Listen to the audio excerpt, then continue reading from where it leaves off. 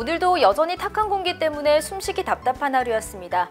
미세먼지 농도가 조금씩 낮아지고 있긴 하지만 내일도 황사의 영향을 받아 공기질이 나쁘겠으니까요. 계속해서 호흡기 관리 잘 해주셔야겠습니다. 공기질은 나쁘지만 내일도 하늘은 대체로 맑겠고요. 낮에는 기온이 오늘보다 더 올라 20도 내외를 보이겠습니다. 그럼 자세한 내일 날씨 살펴보시죠. 내일은 동해상에 위치한 고기압의 영향으로 전국이 대체로 맑겠고 제주도는 가끔 구름 많겠습니다. 내일 아침 기온은 오늘과 비슷해 전국 대부분 지역에서 5도 내외를 보이겠는데요. 경기 동부와 충북 북부, 강원 내륙 및 산지와 경북 북동 산지, 그리고 전북 동부에는 0도 내외로 떨어져 쌀쌀하겠는데요.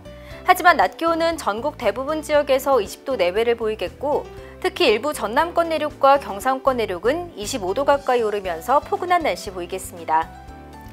한편 내일은 오늘보다 미세먼지 농도가 약해지긴 하겠지만 황사는 계속해서 지속되는 곳이 있겠으니 내일도 호흡기 건강에 유의하시기 바랍니다. 강원 동해안과 산지를 중심으로는 대기가 점차 건조해지고 있는 만큼 산불 등 각종 화재 예방에 유의하시기 바랍니다. 당분간 가끔 구름만 많은 가운데 낮 기온이 크게 오르면서 점점 더 포근해지겠습니다.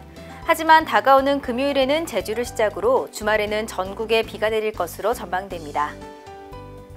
일교차 큰 날씨가 이어지고 있는데요. 특히 내일은 낮과 밤의 기온차가 20도 내외로 매우 크게 벌어질 것으로 보이니까요. 건강관리 잘 해주시기 바랍니다.